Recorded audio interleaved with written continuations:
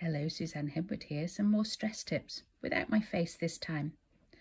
I want you to think about getting hold of a box of crayons, a blank sheet of paper, a board, and drawing what stress is.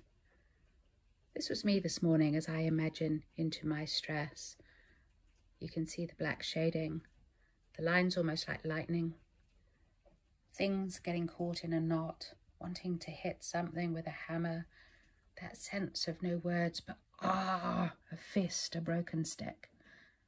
What would you draw if you drew out stress? It doesn't have to be great artwork. Look at mine, it looks like a three-year-old's drawn it. But get it out on the paper. Add words, add feelings. How are you feeling? Draw them, write those words. And as you do, you'll notice that as you express it, things start to shift.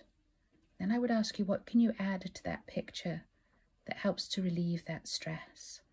For me, that was this river along the bottom.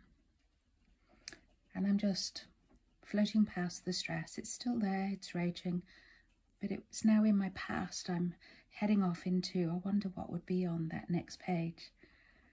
I'm sat on the boat, just floating past, the sun's shining, I'm smiling again. What can you add to your picture to help that feeling of stress dissipate, leave behind. And if you do, like me, have something like that on the corner or the edge of your page, pick another sheet and draw what you'd like to see instead on that next sheet. Have fun with drawings and crayons and expressing your stress in a different way.